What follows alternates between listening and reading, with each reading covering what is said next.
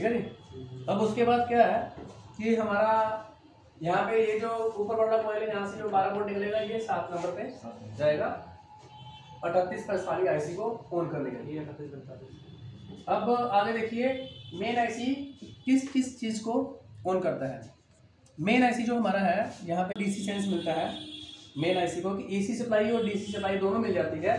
तो main IC क्या करेगा? पहले डीसी रिले को चालू करेगा फिर ये एसी रिले को ऑन करेगा। उसके बाद जैसे ये मोस्ट उसके बाद पीसी पल्स